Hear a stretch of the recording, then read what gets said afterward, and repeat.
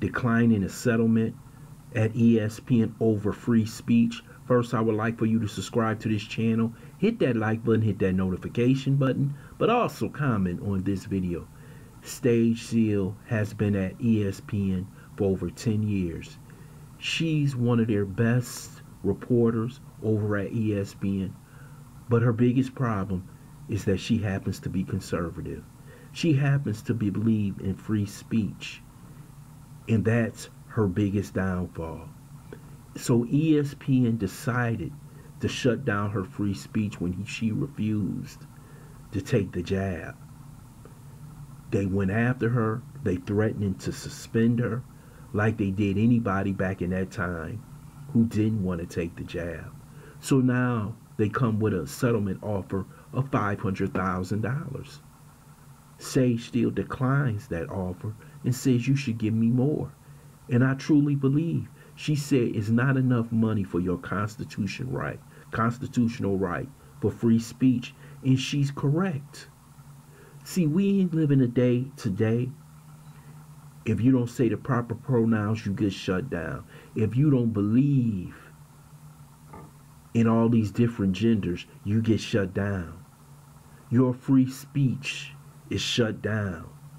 And see, that's what the progressives, Democrats, and the liberals want. They want to shut down free speech. But that's what America is based on. Your First Amendment right is free speech. And you should have it at all times. I remember a time in America when liberals used to fight for WS organizations to have free speech. Now they don't want you to have free speech on anything. They want to shut you down. And this is what Sage Steele is fighting for. She's not the most popular person over at ESPN because many of the people over there are leftists. Starting by the head, in which she complains that Disney was shutting down everybody's free speech.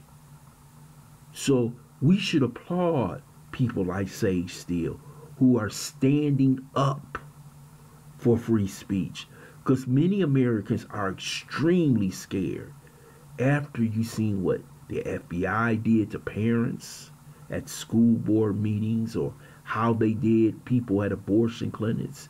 This is terrorizing the public from free speech. So we should be happy that we have someone in the sports media who still believes in free speech. If she happens to lose her job in the near future, because you know that ESPN this week are having huge layoffs. So we don't know who they are going to lay off, but they probably won't lay off Sage Steele for the simple fact litigation is still going on. But this girl is a bright, star at ESPN. She's been there for many a years. She's good at what she does. She's not fake. She's not phony. She gives you how she feels. And that's a good thing in this country because a lot of people are extremely scared. I want to thank you for listening to Blacksite Sports This Quick Take.